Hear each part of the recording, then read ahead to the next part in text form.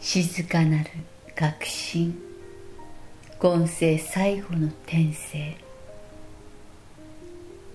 近くにいても遠くにいたとしても伝わってくる思い。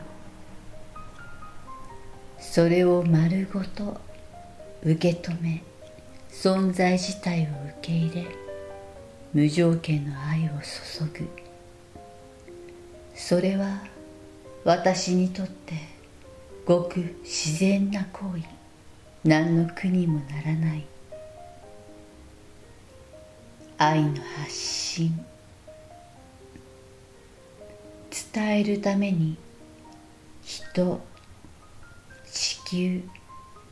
宇宙の貢献のため。今世は生かされていると。改めて体感させて。いただきました